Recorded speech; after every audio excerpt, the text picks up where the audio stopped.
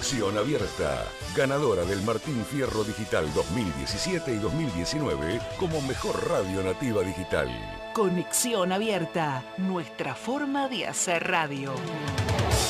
Auspicia este programa.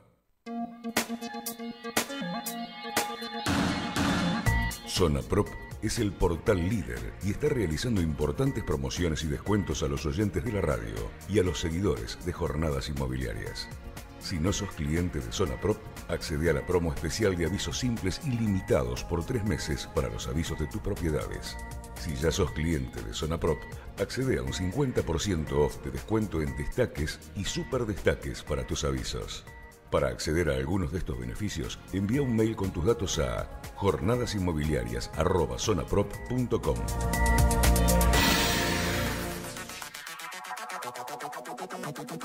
Control de dinero, escrituras, boletos, contratos. Ingrese a www.controldedinero.com. Seguridad, confidencialidad y experiencia.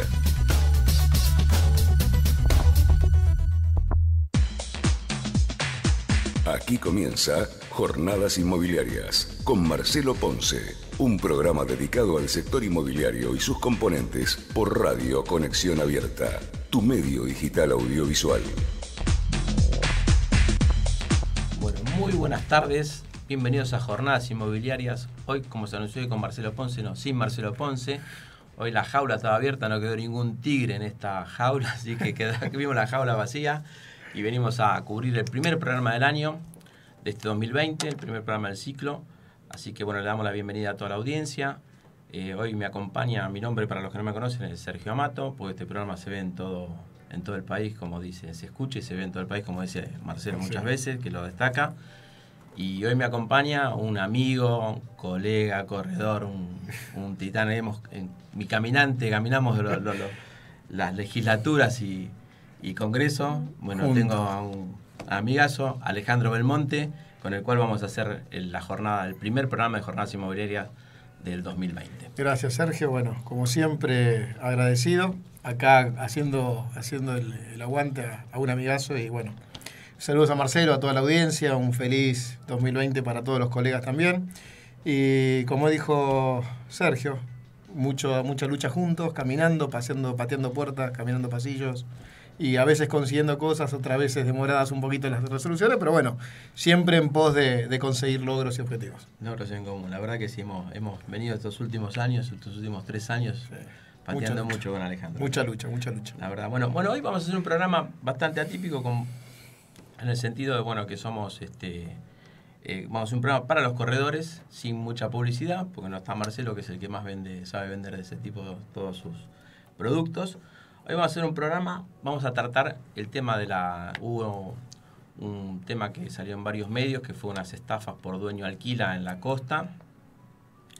Este, también hubo una, una del colegio, el CUSICBA, el Colegio Profesional Inmobiliario de la Ciudad de Buenos Aires, envió unas leyendas para poder poner en los avisos eh, web y en las reservas para poder en algún momento accionar contra el gobierno de la ciudad en caso de que quisiéramos recuperar nuestros honorarios. Una vez caída, perdón, la O- 58-59. o- obviamente, una, Una vez vez caída que, la 58-59. que entendemos que por derecho natural alguna vez este, va, va a suceder eso. Eh, y bueno, si nos da el tiempo también vamos a hablar un poco de cómo asegurar una operación inmobiliaria en dólares ahora con este tema del cepo cambiario que nos preocupa a varios colegas.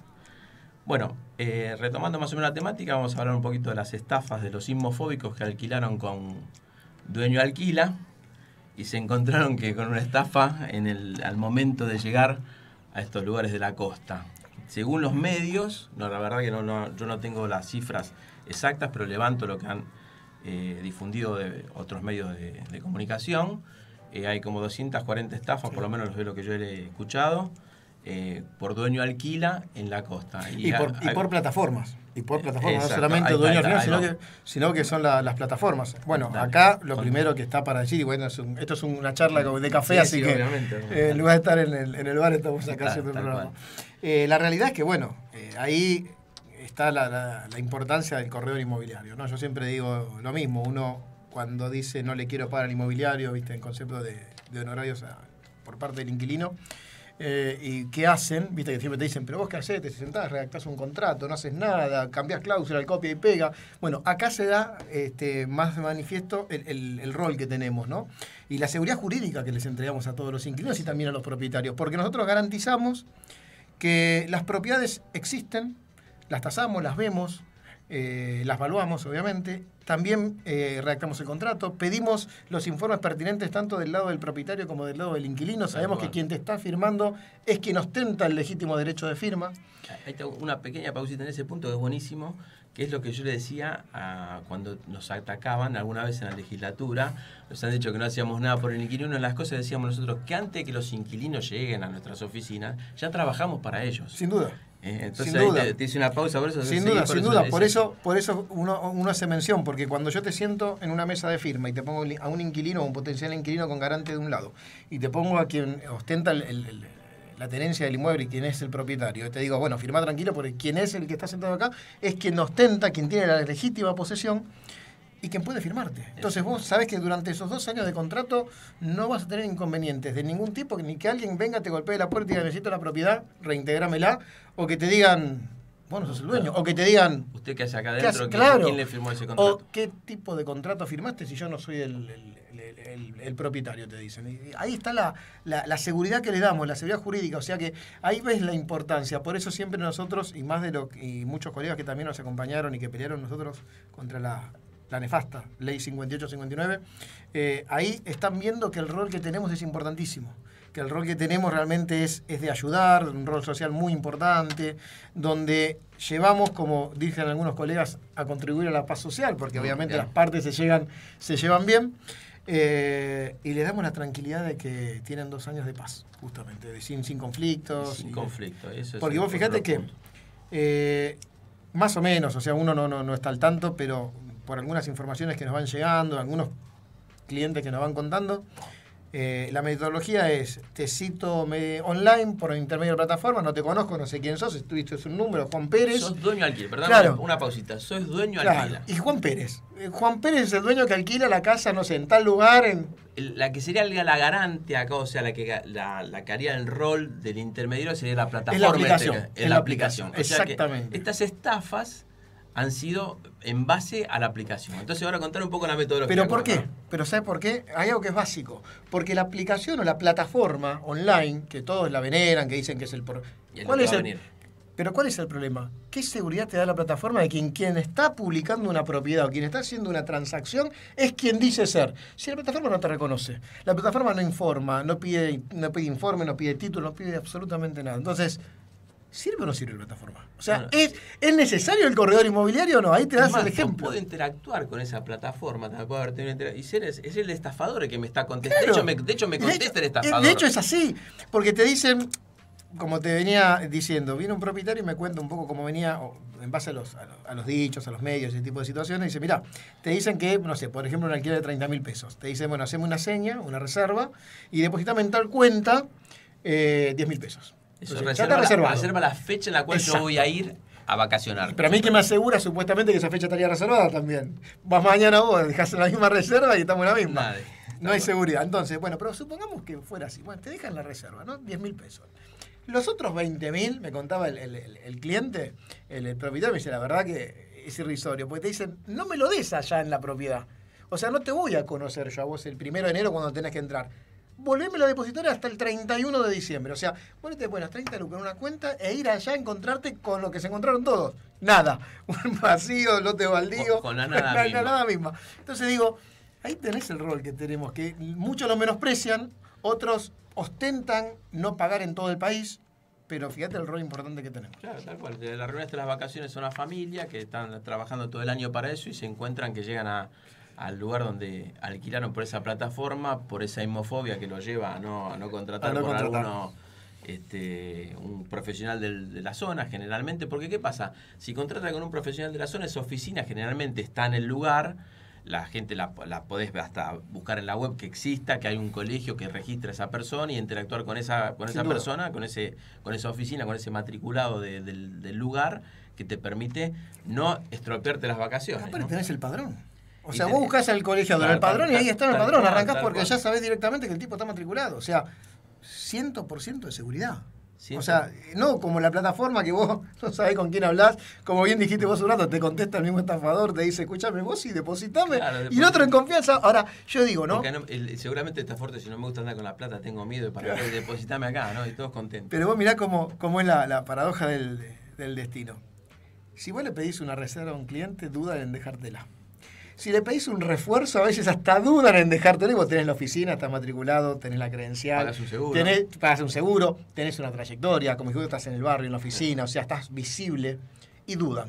Ahora, ante una plataforma que no conoces a nadie, no sabés quién está del otro lado, quién te contesta, quién le depositás la plata, no sabés nada, van y la ponen sin chistar. Y después se encuentran con los problemas que se encuentran, no hay nada. Es, bueno, es, parte de la cosa de eso de querer este, a veces eludir al profesional del lugar que venimos a, como vos bien dijiste, a dar la seguridad jurídica que se necesita para todo este tipo de transacciones, que es lo que hace que la gente que... No, las, las plataformas dicen que nos van a reemplazar, yo creo que va a pasar mucho tiempo. Esto es una cosa muy artesanal, yo digo que tanto somos todos únicos, porque tanto el inquilino es único, no hay dos inquilinos, es, es una persona única en el mundo, en el planeta. El inmueble también es único en el planeta, porque como yo digo siempre, la planta baja no es igual que el octavo piso, estando en el mismo edificio, o el primer piso igual que el octavo, son parecidísimos, pero no son iguales. O sea que también cada inmueble es único. Eh, además, los inmuebles, si son en altura, también deberían tener ¿no? altura, ¿no? Cuando uno sí. ubica tanto, tanto, tanto del piso, ¿no? Podría para identificarlo. Tal cual. Este, y esta cosa que somos todos únicos, todo que hace que la plataforma, que es una cosa que sería universal, porque todo lo que va vía plataforma son cosas universales, que puedo comprar un celular, que sí me sirve, que son todos iguales los celulares.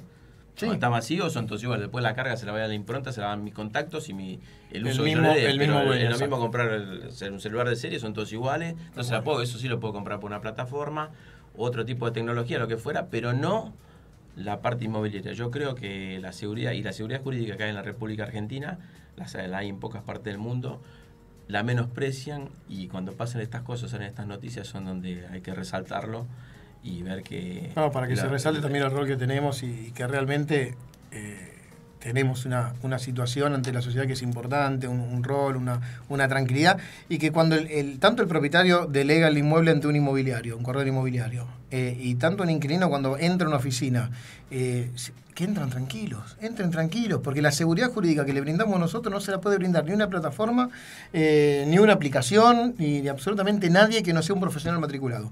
Entonces, eso, como decís vos, hay que destacarlo porque muy pocos lo dicen, muy pocos lo destacan, y la realidad es que, bueno, la mayoría, por ahí no tanto en la en, la capital, pues están empezando a ir, pero esto es de la provincia de Buenos Aires, en la provincia en el interior, o sea, está avanzando este tipo de plataformas y la verdad que hay que ponerle un freno porque no, no dan la seguridad que damos nosotros. Y a enseñarle al usuario que chequee que cuando opera con un corredor inmobiliario lo puede verificar en los colegios de la, de la jurisdicción. De la jurisdicción.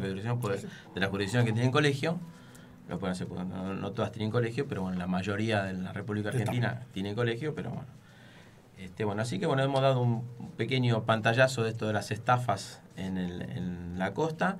Y bueno, esperemos que no pasen y a la gente que no dude que lo que se piensa que se ahorra, no ahorran nada, al contrario, no ahorraron nada, perdieron parte de sus vacaciones. Si no, es muy simple, hay que preguntarle a esta gente que fue estafada decirle si no hubiera pagado el servicio de un inmobiliario después cuando se encontró con, con, la plata perdida, que ahora van a recuperarla porque tiene que haber una investigación, ver de quién era la cuenta, es todo un tema. Pero más allá del dinero, puede ser, no todo pasa por el dinero, el tema es que te perdiste las vacaciones, estás con la familia varada allá, tenés que salir a buscar algo de apuro, ya no es la misma eh, alegría que con la que te fuiste, viste, en viaje. La mala sangre te entonces, saca nadie. Entonces, ahí hubieran dicho, hubiéramos pagado un inmobiliario, la verdad que me hubiera ahorrado toda esta mala sangre y hubiera estado disfrutando mis vacaciones sin, ningún problema. Tal cual, tal cual. Así que bueno, me parece que es, es importante destacarlo. Bueno, entre, las, entre estas pequeñas cositas, un detallecito que queremos, andan circulando en algunos WAP, pero es muy interesante decirlo. Este año, el 2020, tiene una característica muy especial que cuando ponemos fecha en alguna en algún recibo, en alguna reserva, en alguna en cualquier tipo de documento que hacemos, eh, generalmente ponemos el día, el mes y el año. Eh, por ejemplo, hasta el año pasado poníamos 19. Por ejemplo, hoy es 4 del, del 1 del 19 sería el año pasado y este año sería del 20. Bueno, es importante poner 20-20.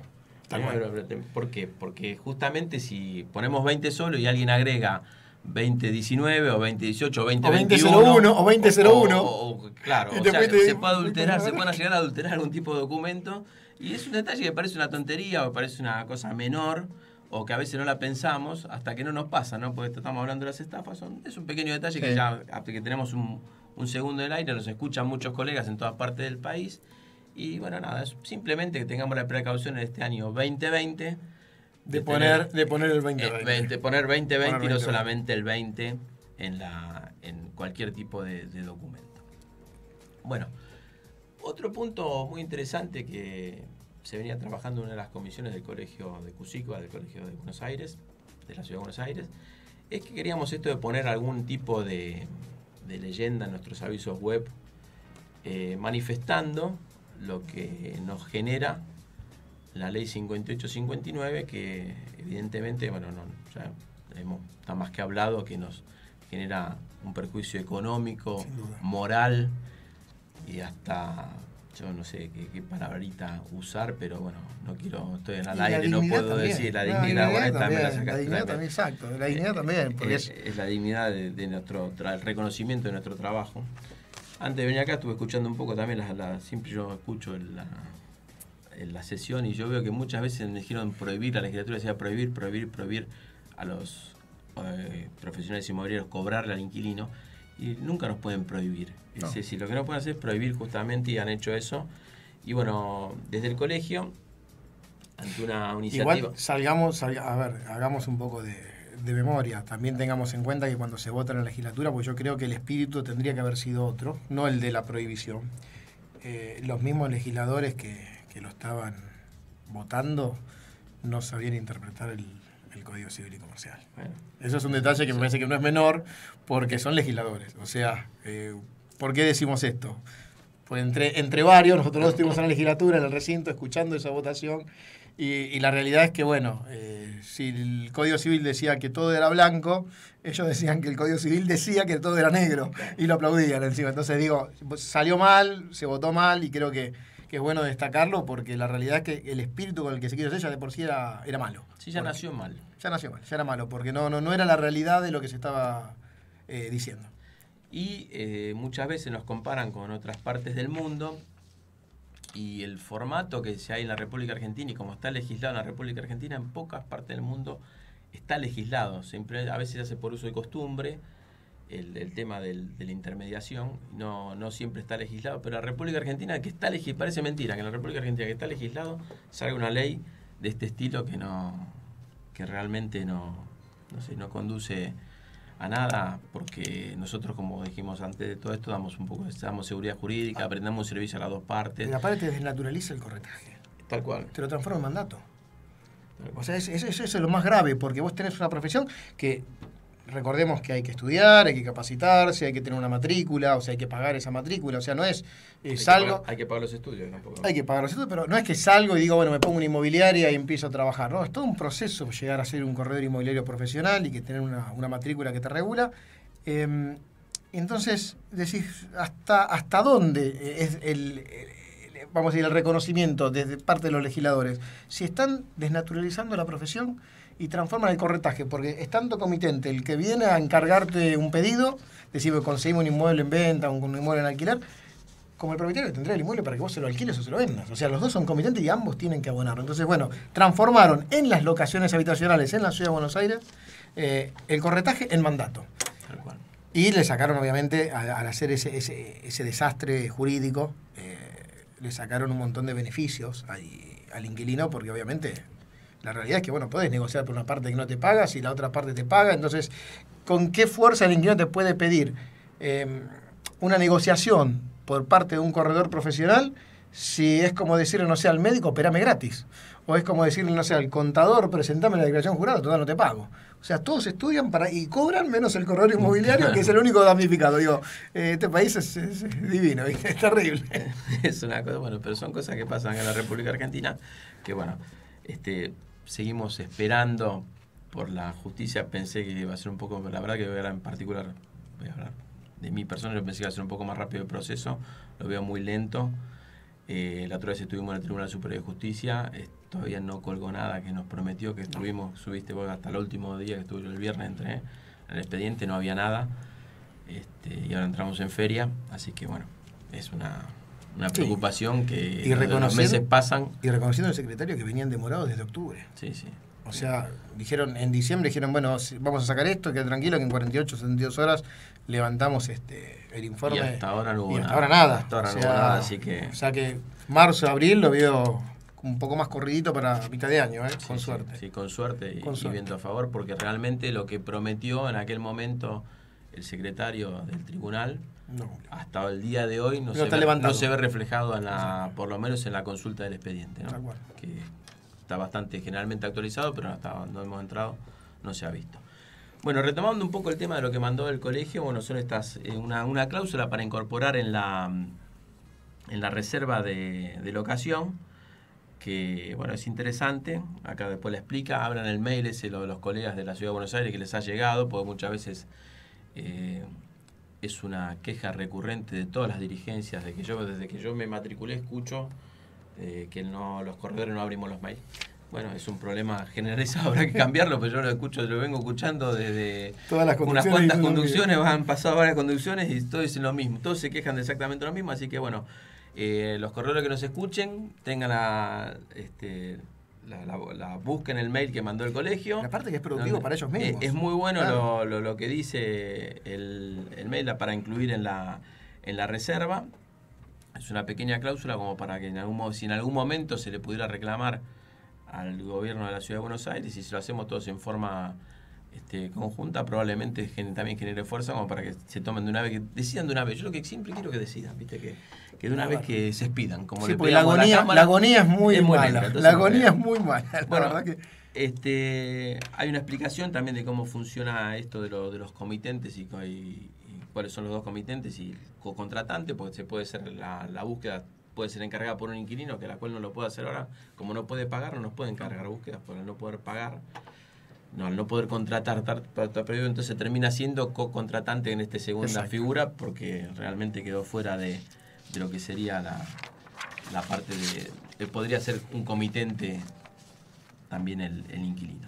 Y también, eh, aparte de la reserva, también lo que mandó el colegio es la leyenda para colocar en todos los avisos, tanto de oficina como en los avisos web, eh, diciendo bueno que estamos en contra de la 58-59 y que a pesar de estar vigente y de, darnos un daño importantísimo, eh, la estamos respetando. Entonces, pero dejar asentado y dejar aclarado que, bueno, obviamente estamos en contra, que se están vulnerando derechos, que no, no estamos obviamente este, en conformidad con la sanción, de esta ley, pero bueno, también es importante que lo pongamos todos los corredores inmobiliarios de la Ciudad de Buenos Aires en todas las publicaciones para que se empiece a viralizar y a generalizar y que cada persona, cada potencial inquilino o mismo propietario o colega o quien fuera que busque mediante la web encuentre eso, o sea, que se haga visible que estamos a la espera de una resolución de un fallo del Tribunal Superior de Justicia, pero que a su vez eh, estamos en disconformidad con, no solo con la sanción de la ley, sino también con, el hecho de estar trabajando en forma gratuita para una sola parte. Sí, acá el colegio mandó cuatro este,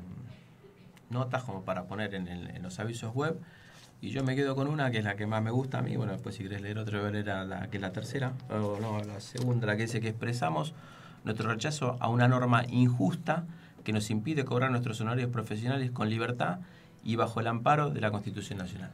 O sea, esa. A mí la que más me gustó de todas fue esa, pero bueno, hay otras más si querés leer alguna. No, te leo, a ver, leemos un poquitito algunas más, pero la realidad es que todas están bien. No, están todas, están todas buenas. Eh, algunas son más chocantes, o sea, causan más impacto, pero la realidad es que todas tienen, buscan el mismo fin, que es expresar lo que siente el correo inmobiliario de la Ciudad de Buenos Aires al no poder cobrar honorarios de una sola parte.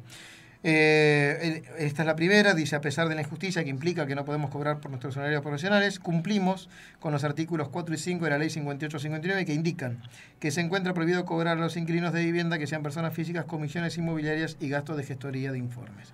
Ahí te hago un paréntesis, gasto de gestoría de informes, ah. ¿Qué era un punto buenísimo. Los gastos, ¿qué son los gastos de gestoría?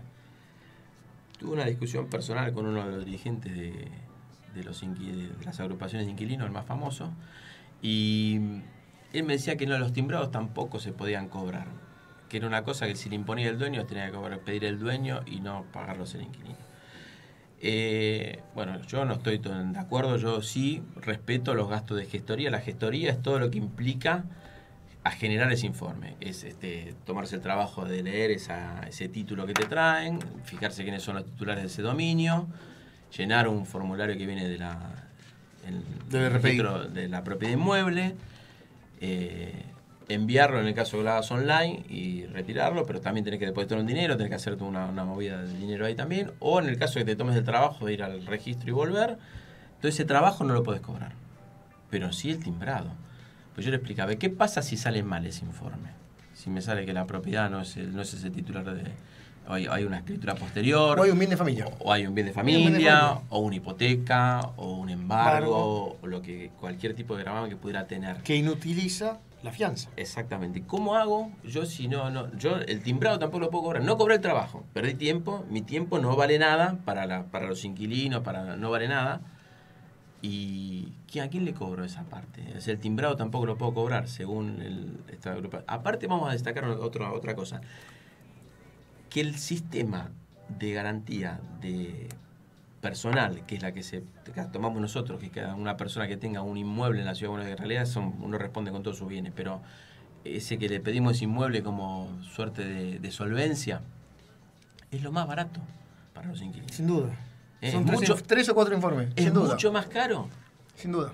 pagar un seguro de, de caución, comprar las garantías como hacían alguna vez que han hecho que comprársela a otro. Es todo aquel que tiene esa facilidad de que alguien le preste una, una garantía o le salga de garante con como sea, con alguna propiedad en la ciudad de Buenos Aires sobre todo, como lo hacemos nosotros, es lo más barato que hay para acceder a, la, a un alquiler. No, es, o sea, yo cuando veo que favorecen, que, que nos quieren poner palos en la rueda con esto, de, de no querer cobrar ni el timbrado, no, no quieren que no quieren cobrar los timbrados, que es una locura para mí, eh, me parece que están como que quieren jugar para los seguros, ¿o no? Sí, o, sin o sea, duda, ¿para no. qué juega el- Sin la duda. gente de los, de los Pero aparte- pero aparte- Dicen- porque de la boca para afuera, perdóname, de la boca para afuera dicen que no, pero en los hechos... Eh, sí. Tengo un chat de casi una hora y media con este muchacho intercambiándolo con estas cosas. Entonces, no, eso no es. Yo le digo, sí, que seguramente nos va a escuchar, que no, tratemos de seguir en, el- en el- la buena senda, no... Este, nosotros vamos a seguir existiendo porque de hecho llevamos casi dos años y medio con esta 58 y 59 y acá estamos porque le cobramos a los dueños como le cobramos antes de estar a 58 y 59. Le cobra- Es decir, Lo que pasa es que ahí vino, ahí vino el error y, y me parece que esto hay que destacarlo, porque todas las agrupaciones de inquilinos, inclusive muchos legisladores, muchos diputados, eh, gente con la que asesores con la que estuvimos este, dialogando y, y- y conversando antes y durante y después de la sanción de la 58-59, ellos te dicen, pues es el latiguillo, pues lo tienen incorporado, o sea, no lo analizan, pero te dicen, si total cobras del propietario. Te lo- la- tus- tu comisión o tus honorarios te lo paga el propietario. ¿Cuál es el problema si ahora no te lo paga el inquilino si te lo paga el propietario? Muchachos, está mal. ¿Por qué? Porque como bien dijo Sergio, yo le cobraba al inquilino, pero también le cobraba al propietario. Claro. O sea, si yo cobro dos pesos de uno y dos pesos del otro, mi honorario es cuatro. Hoy es dos. Claro. No es que el propietario absorbe el, el honorario del inquilino y me, me paga los cuatro que... No, porque encima tiene un tope. exactamente. Encima tiene un tope, que es el 4,15. Entonces yo no le puedo cobrar al propietario más del 4,15. Por 8.30, porque así podría decir, me estás Sí. absorbiendo las dos Ah, partes. entonces ahí estoy de acuerdo. Porque yo cobro, en teoría, de una parte los dos honorarios. Pero la realidad es que no me está pagando el propietario. Me está pagando su parte, no la parte que el inquilino dejó de abonarme. Exactamente. Entonces, esto es bueno de que, porque todos te dicen, pero ¿cuál es el problema? ¿De qué te quejas? Pues lo, lo escuché inclusive hasta en los pasillos después de la sanción de la 58 69, te decían, pero no sé por qué se quejan los inmobiliarios si están cobrando igual del propietario. No, No, no, estoy cobrando el 50%. Exactamente. Porque el 50% que me pagaba el propietario lo sigo cobrando como lo cobré siempre, toda la vida, pero el 50% del inquilino dejé de cobrarlo. Entonces, de, como te dije, si 2 más 2 yo cobraba 4, porque trabajaba y trabajo para los dos, ahora 2 más 2 es 2 Es para dos, mí, no es 4. Ese es el problema. Entonces no me está pagando el propietario lo que el inquilino dejó de pagarme. Que algo también hay que destacarlo, que el 1351 dice que no es solidario. O Exactamente. sea, no puede el inquilino lo que absorber lo del propietario y lo del propietario absorber. O sea, cada uno me tiene que pagar su parte cuando hay un solo correo Y interviniente. esa es la esencia, ahí llegaste al punto. Yo te iba a interrumpir y justo llegaste al punto vos solito. Esa es la esencia del corretaje. Que ambas partes paguen. Porque en cuanto paga uno es el que manda. Uno tiene que responder solamente al que paga. Porque es una cuestión natural. Porque el que contrata, el otro no contrata. Entonces, la esencia del corretaje es que ambas partes paguen. Cuando no pagan, a una de las partes no paga, el corretaje empieza a desfigurarse y empieza a generarse lo que este, este formato de mandato, que es lo que tenemos hoy en las locaciones de... de- Y la desigualdad entre las partes. Para negociar. Claro, la desigualdad, porque cuando vos no me pagás, ¿qué fuera, es lo que yo te dije hace un ratito, Claro, ¿qué claro, fuera tengo yo para negociar por vos si el que me paga es él? Porque también está la otra parte que te dice, pero si te pago yo solo, ¿cómo vas a negociar por él? Que, a ver, ¿qué te paga él? ¿En qué te beneficia él? Si él no te está pagando, te estoy pagando yo. Bueno, vos conseguime lo que yo te pido, si es un mandato que te estoy dando prácticamente. No, no, y las discusiones que se generan. Oh, verdad, sin duda. eh, o vienen algunos propietarios que nos dicen, mí me ha pasado en la oficina, todo es autorreferencial, pero es así, es cierto, y más de uno seguramente habrá pagado. Ponerle expensas totales, que pague la expensa extraordinaria, pague todo el inquilino, yo pago todo. Y vos le tenés que decir que no, Claro. que la expensa sigue siendo, uno sigue ejerciendo el corretaje igual. Yo en mi oficina no digo que tengo muchas discusiones porque yo les digo que eh, a pesar de que pago uno sola, una sola parte, yo mantengo la esencia de- de- del, del corretaje. ¿no? Pero- Lo- lo- y lo tocaste sigo- un tema importante, que te habrá pasado a vos, no, me pasa a mí, nos pasa a todos. Porque vos después por ahí cuando estás en, en la gestión de cobro, te ha pasado seguramente, a mí me pasa, y le pasará como te dije a, a muchos colegas, que cuando vienen las liquidaciones de expensas, hoy viste que los administradores no tienen la obligación de discriminar de ordinarias con extraordinarias. Entonces te ponen, claro, te ponen los 4 mil pesos de expensa y ahí está todo metido adentro. Entonces te viene el inquilino y te dice, no, pero escúchame, eh, a ver, serían 3.250 y el resto es extraordinaria, contámela. Y vos, al no estar desglosado, no tenés la obligación de hacerlo, pero lo hacemos. Lo hacemos igual. Lo hacemos igual. Entonces, eso de que no ayudás al inquilino, de que no lo protegés, de que no le das una mano, es mentira.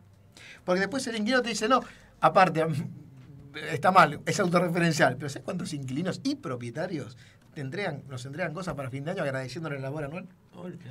Lo, lo vemos en los chats, que nos pasamos las fotos. O sea, nos valoran ellos y no los que nos tienen que, a ver, que guiar, por decirlo de alguna manera. Pero nos valoran los inquilinos, nos valoran los propietarios, nos hacen obsequio, nos, nos consideran. Entonces creo que ahí está la demostración de que el trabajo es de los dos, pues se quedan tanto los propietarios como los inquilinos. Pero bueno, hoy por hoy todavía seguimos cobrando una sola me parte. esa parte, pero esperemos que en algún momento Cambie. se revierta toda esta situación. Así que bueno. Bueno, eh, retomando el tema para los colegas, abran el mail del colegio. Si no les llegó, pídanlo. Es muy interesante, es muy importante poner esta, este tipo de frases en las publicaciones web.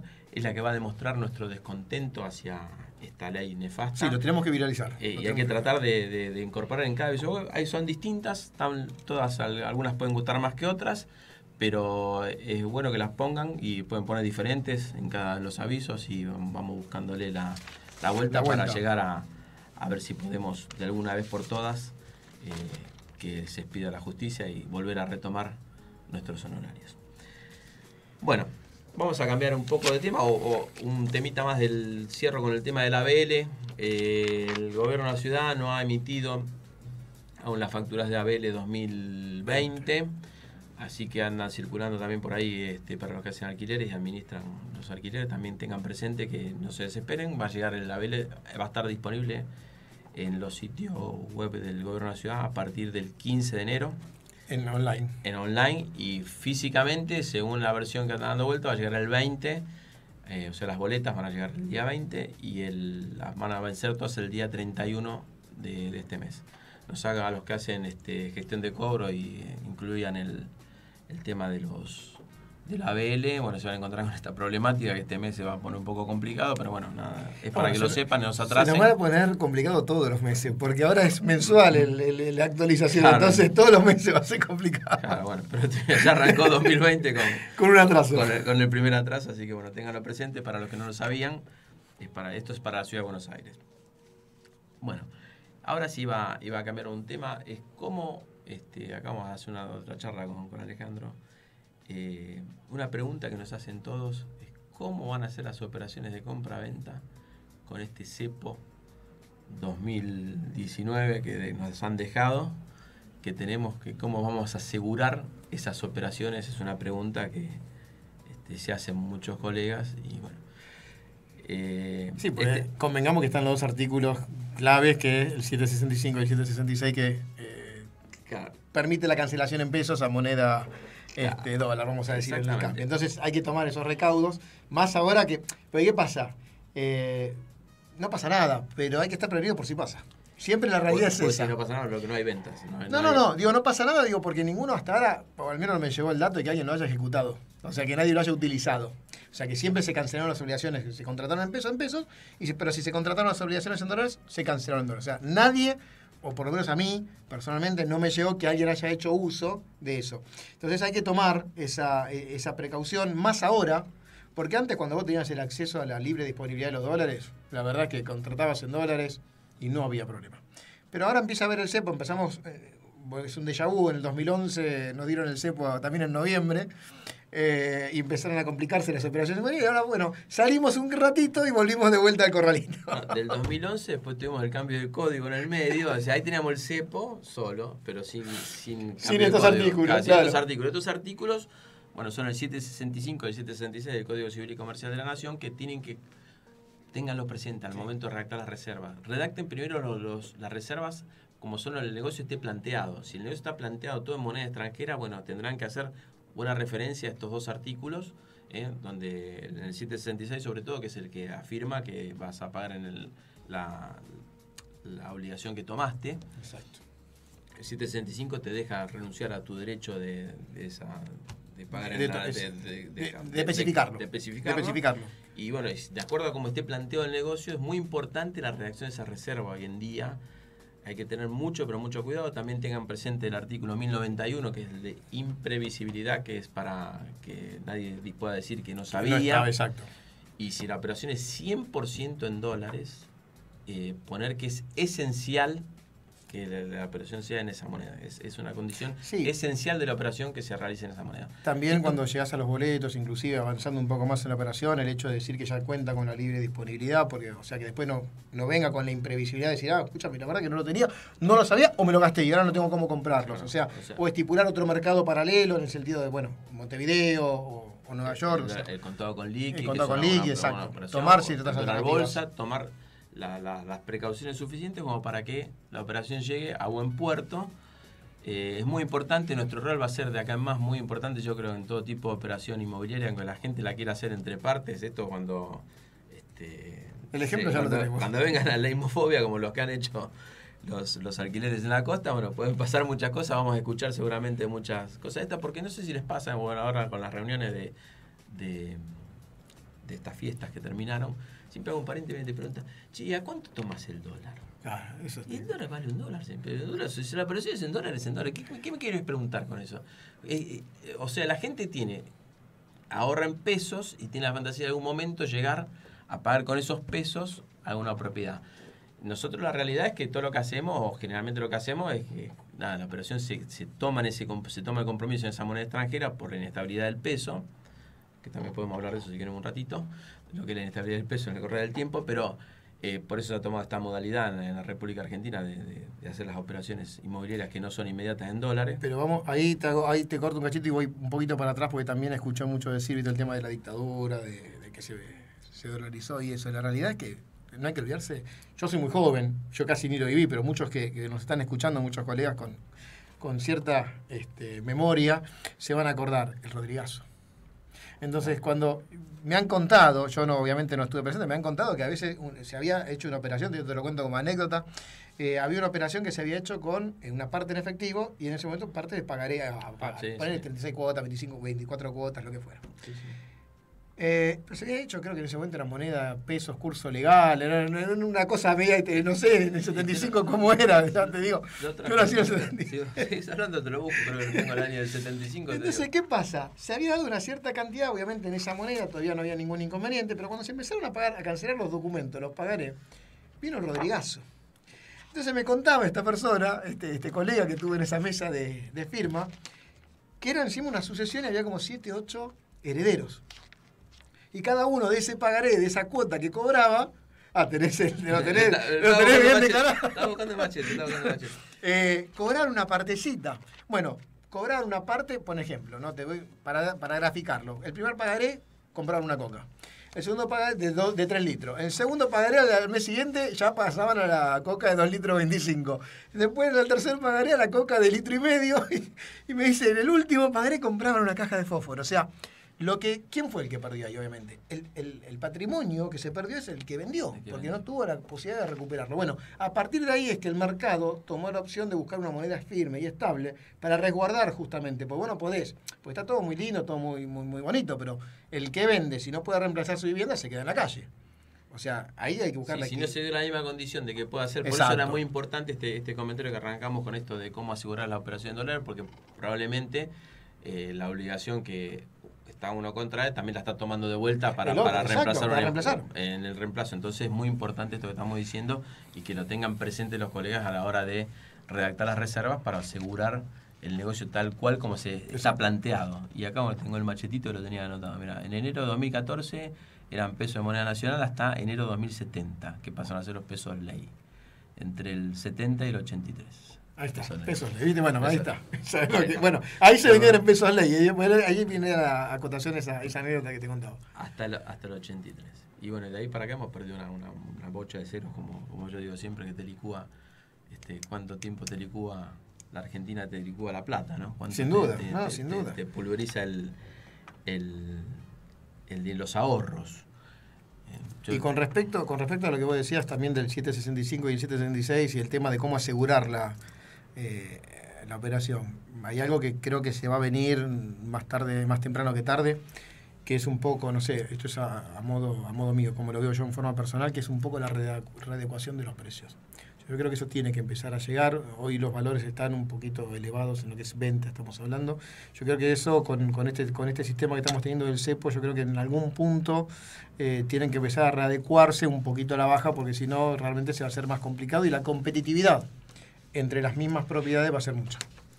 Y bueno, sí, el reacomodamiento de precios yo creo que en algún momento se va a dar cuando pueda haber este reemplazo de vivienda. Pues yo lo que noto también que no va a haber este está estancado. Está todo. trabado, está Como decimos siempre, bueno, el mercado Está regula de dos maneras, ¿no? O por el precio o por la cantidad de operaciones. Estos últimos tiempos viene regulando por cantidad de operaciones.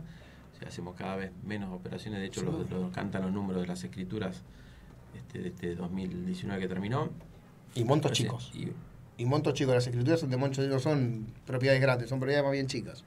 Bueno, digamos que si esa parte sí, sí queda así. Ponerle sí lo que por lo menos lo que se ve en Es lo que se ve en- lo que se ve ahí en el, en, el informe de- del Colegio Escribano parece que fuera eso, propiedades chicas. Y bueno, tenemos este tema de, de que el, el precio hoy le cuesta mucho el acceso a la primera vivienda a la gente, entonces está se ha alejado ese primer la compra de ese primer departamento, que es el que desata a veces muchas cosas, ¿no? Porque, por ejemplo, la pareja que accedió en su momento a ese primer departamento y quiere saltar a un departamento más grande porque la familia fue creciendo, se encuentra con que no, hay- no se lo puede vender a nadie ese departamento porque aquel que tiene que ser, como en aquel momento fueron ellos, acceder a ese primer departamento, hoy no pueden y entonces ellos, ellos no pueden no pueden acceder. No pueden hacer a lo mejor tienen el ahorro para hacer el salto, pero no tienen no pueden El comprador de lo de- comprador de lo de Exacto, ellos, porque se desapa- desapareció el inversor, El crédito. el crédito, El crédito. desaparecieron todas las cosas que hacen el acceso a esa primera vivienda que lo que des- es la que desata generalmente el mercado inmobiliario, ¿no? Porque se desata, todo arranca a partir de esa primera Sí. vivienda. Sí, la- sí. Las inversiones del, del, de pozo, a veces los, los desarrolladores eligen las unidades chicas para poder comercializarlas con facilidad y bueno, hoy no están, esos inversores están costando encontrar... Esperemos, no, esperemos bueno, que ahora que hubo un cambio de gobierno, se acuerden un poco del sector inmobiliario y lancen un poco de créditos, que sean un poco más flexibles. Yo creo que también habría que tener alguna, no digo atención, pero alguna tiene que haber alguna visibilidad con respecto al mercado y decir, bueno, pues, ¿qué pasa? Eh, vos no te olvides que si vas a comprar los dólares para comprarte tu primera vivienda, terminás pagando ese 30%. Y hoy por hoy sí. Claro. Entonces, no compras 200 dólares, compras 260. 150. No, no, 260 dólares, porque es el Ah. 30% de cada uno. O sea, Bueno. son 260 dólares. O sea, lo estás pagando 260 y compras 200. Entonces, eh, tenés que ayudar un poquito también a esa primera vivienda para que, como dijiste vos, después se termine desatando el nudo y siga la cadena. Yo, yo creo que siempre el, que arranca cualquier tipo de, operación en líneas generales siempre es el de la unidad más chica, que yo siempre digo, es el primero, y, si es una operación en cadena, es el primero que hace la oferta, si, si te toca encadenar con dos o tres operaciones posteriores, y es el último que entre, el último que recibe, el último que entrega, que- porque todos los del medio se van acomodando y, es el último que recibe, el último que entrega, bueno, pero ese es el que desata siempre generalmente los negocios de la unidad más chica. Y hoy no lo tenía, hoy está, como vos decís, con todo lo que falta, falta crédito, falta el ahorro, es muy difícil el ahorro. Este, igual los ciclos inmobiliarios son diferentes a todos los ciclos de la economía en general, son más la, economía tiene ciclos como más este, ondeados, más, más redondeados y son más punzantes. a lo mejor empiezan a reactivarse otros sectores y nosotros vamos a seguir profundizando la caída y después cuando, y después cuando, los demás, cuando los demás están tranquilizados, nosotros a lo mejor estamos también un poco activos, eh, que los que nos hace un ciclo que son distintos a, a los ciclos de la economía común y silvestre de la ciudad Bueno, Ale, ¿cómo seguimos ahora? No, también un poco no. Yo, a ver, ya que estamos dando tips y, cosas este, que pueden servir también para el corredor inmobiliario, que a veces parece novia y que creo que a veces no, no lo son tanto, porque a veces te pones a hablar y dicen, no lo sé, qué sé ah, no sabía, mira tal cosa. Un poco, a ver, eh, asegurar, cuando hablas de asegurar la operación, desde el vamos, eh, no desde la, autorización, después de la reserva, después de, obviamente desde la, aceptación, la conformidad de la otra parte, obviamente después la notificación. Yo creo que eso lo tienen que tener en claro todos los corredores, porque yo inclusive hay veces que hablo con colegas y te hacen la autorización de, esto es lo mismo vendo o alquiler, ¿eh? te hacen la autorización, sea venta o alquiler, saltan a la reserva, o sea, consiguen el oferente, o sea, consiguen el posible comprador, el posible inquilino, y de ahí por ahí te saltan directamente al contrato, o por ahí te saltan directamente a la escritura o directamente al boleto. Y en el medio se te olvidaron de hacer la conformidad con el comprador, con el vendedor y la notificación del comprador. Entonces, esa parte, claro, hay mucho que esa parte se le olvida. Entonces, esas dos partes se las olvida. Entonces, ¿cuándo viene el problema? Cuando no llegas al boleto, cuando no llegas al contrato y cuando no llegas a la escritura. Entonces, ¿Dónde está la responsabilidad? ¿Cómo solucionamos esto? ¿Está bien hecho el trabajo nuestro? ¿No está bien ¿Tengo derecho a percibir los honorarios porque mi operación está cerrada? Porque ¿qué pasa? Vos escuchás a muchos colegas que te dicen, no, está bien, yo tengo la autorización en 50 mil, ponele. Tengo, no sé, la, oferta en 48. Y el dueño, yo lo llamé la verdad que el tipo me dijo, te felicito, me encantaron los, los 48. ¿eh? Y cuando llegué al boleto me dijo, ¿dónde están los 50? Y vos te quedaste, se viste en el boleto y decís, pero si vos aceptaste 48, ¿y dónde está? No, no, hay que entonces, claro, entonces digo, esos son tipos, y hay mucha gente que a esos los pasa por alto porque el, dueño es muy amigo, o porque el que compra también es muy amigo, entonces dice, no, no se lo voy a hacer firmar, no se lo voy a proponer porque queda mal. Y después vienen los problemas. Entonces, le digo a los corredores que no se olviden esos pasos que son fundamentales, que es posterior a la, conformación de, la aparición, vamos a decir, del oferente, tanto sea un alquiler como una, como una compra, eh, la notificación y la aceptación del propietario, o sea, que, venga expresamente, que, que lo acepte, que lo firme. Y después, obviamente, una vez tenido eso, que saltemos sí, la notificación, tanto sea del inquilino o del, o del este, comprador, oferente, para después llegar tranquilo al boleto o a la escritura. ¿Por qué?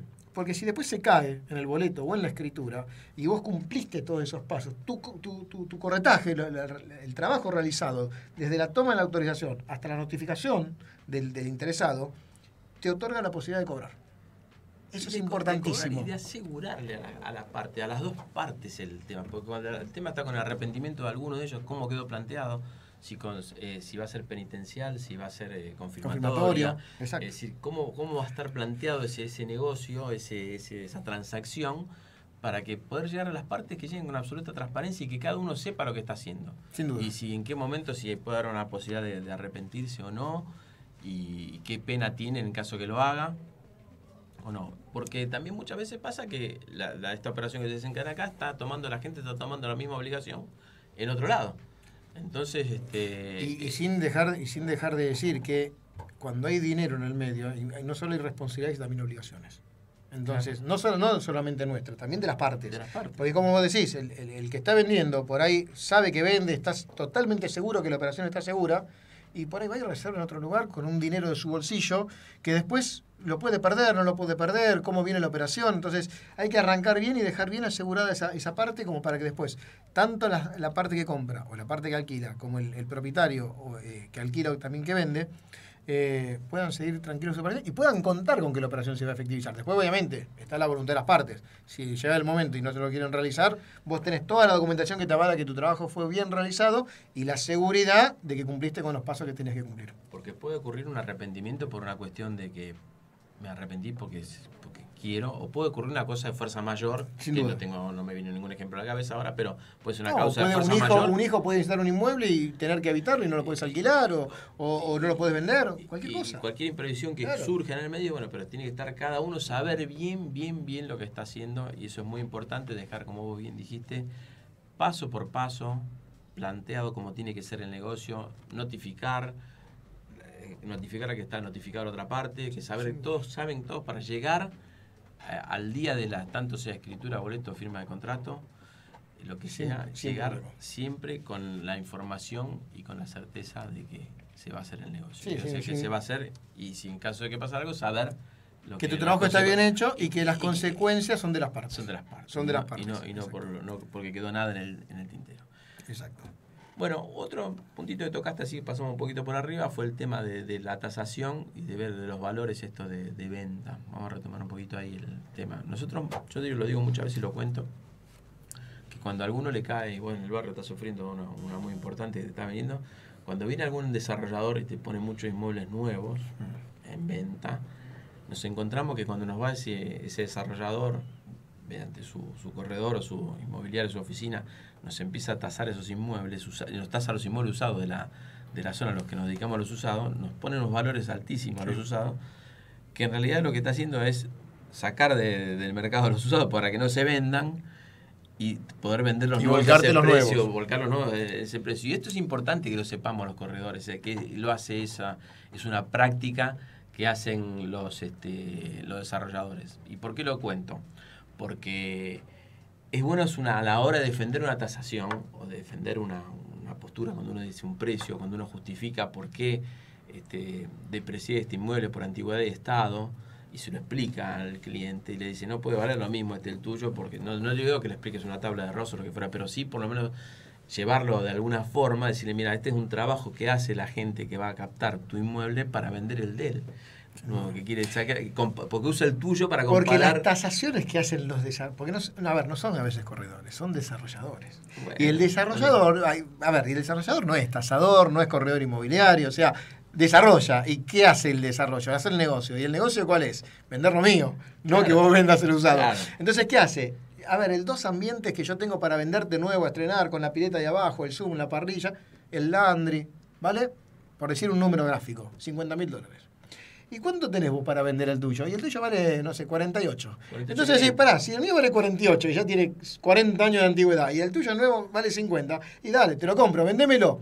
Cuando vos lo vas a tasar y vos decís, no, no vale 48, mira, por esto, esto el tuyo vale 35.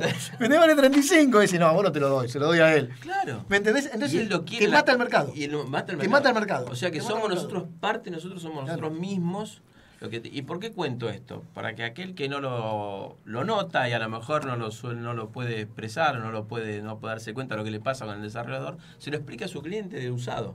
Claro. ¿Eh? Cuando el cliente del usado venga, es una forma de poder defender esa objeción que nos da muchas veces el, el cliente que nos dice, no, si vino fulanito y me dijo que mi departamento vale lo mismo, casi lo mismo que el metro cuadrado que el nuevo y no es así. Todos sabemos que no es así.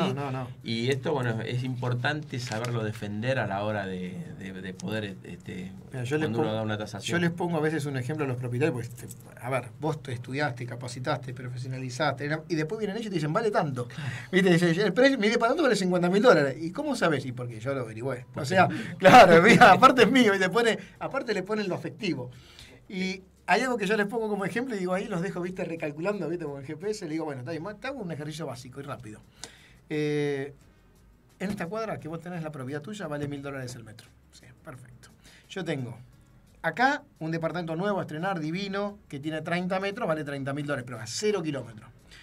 De la vereda, o sea, al lado, pegadito, bien lindero, medianera de por medio, tenés los mismos 30 metros, pero destruido, casi baldío. ¿Lo en 30? Me quedan mirando, ¿viste?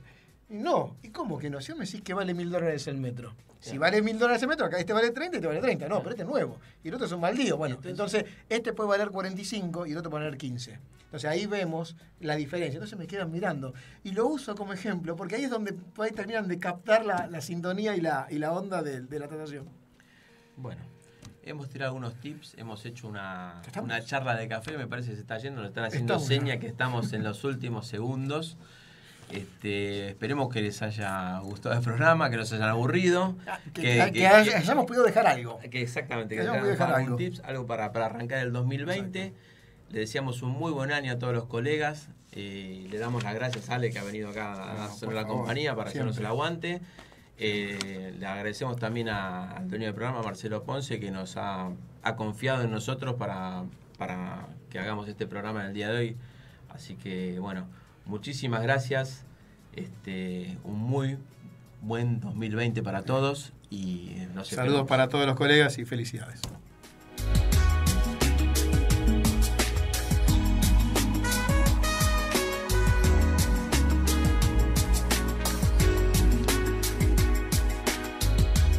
Auspició este programa.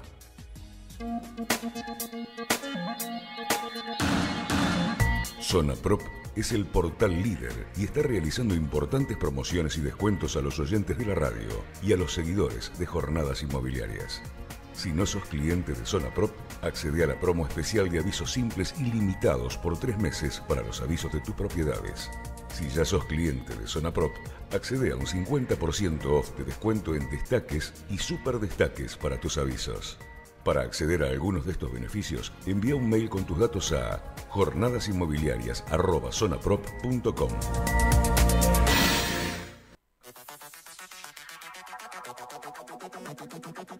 Control de dinero, escrituras, boletos, contratos. Ingrese a www.controldedinero.com. Seguridad, confidencialidad y experiencia.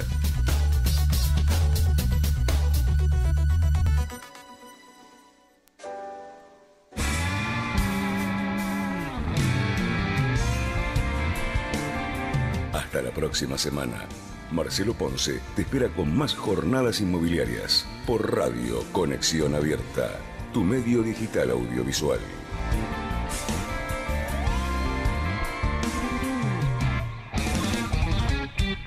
Comienzo de espacio publicitario en Conexión Abierta. Este medio está asociado a CADEMAD, Cámara Argentina de Medios Audiovisuales Digitales.